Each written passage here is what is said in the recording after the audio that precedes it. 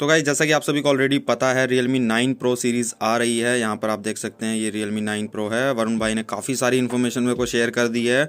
Time to time ये करते रहते हैं। बहुत बढ़िया इन्फॉर्मेशन जो है मेरे को पहुंचाते रहते हैं, जैसे कि आप सभी यहाँ पे देख पा रहे हो। सोनी आई एम सेंसर और OIS टेक्नोलॉजी इसके अंदर हमें देखने को मिलेगी। लेकिन यहाँ पर मैं आपको दिखा रहा हूँ इस वीडियो के अंदर कुछ खास और वो है कलर्स वो है इमेज जो इसकी एक्चुअल इमेज है, ये आपको टेलीग्राम ग्रुप में मिल जाएँगी। आप ज्वाइन करके चेकआउट कर लेना। नीचे वीडियो के डिस्क्रिप्शन के अंदर लिंक आपको मिल जाएगा। आप यहाँ पर पहले इसका कलर और लुक देखो। भाई, ये कुछ यूनिक ही लुक है और मेरे को काफ़ी खास पसंद आ रही है। जस्ट यही शो करने के लिए मैं ये वीडियो बना रहा हूँ, ताकि आपको एग्जैक्ट पता लगे कि भाई कितनी खूबसूरत और क्या कुछ अलग लेवल पे जो है ये इस बार लेके गए हैं डिज़ाइन को। ऑल तो ये ग्लास नहीं है, ये पॉलीकार्बोनेट है, मैं आपको यहाँ पर पहले ही बता देता हूँ, कहीं आप इसे ग्लास समझ लो, क्योंकि अगर ये ग्लास होता तो इसका प्राइस तीस हज़ार से ऊपर आराम से चला जाता।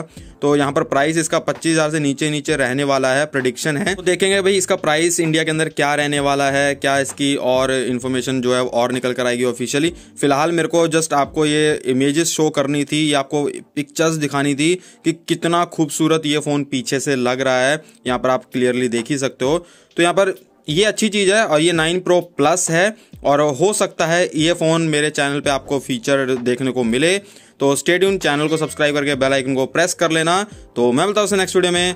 Thanks for watching